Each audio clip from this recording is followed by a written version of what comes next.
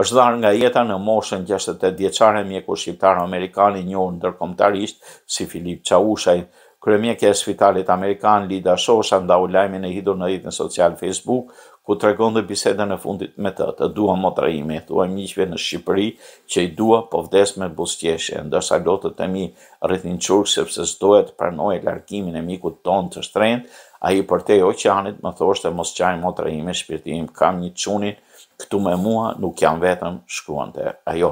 Filip Çaushaj lindi në Nju Jork, u formua në Shtetet e Bashkuara dhe u dekorua nga presidenti Obama, por për asnjë çast nuk harroi origjinën e tij shqiptare. Për promovimin e vlerave të shqiptarëve të suksesshëm nëpër botë, Shtatorin e vitit dy mijë e gjashtëmbëdhjetë, Presidenti i Republikës, Bujar Nishani, e vlerësoi me titullin Nder i Kombit.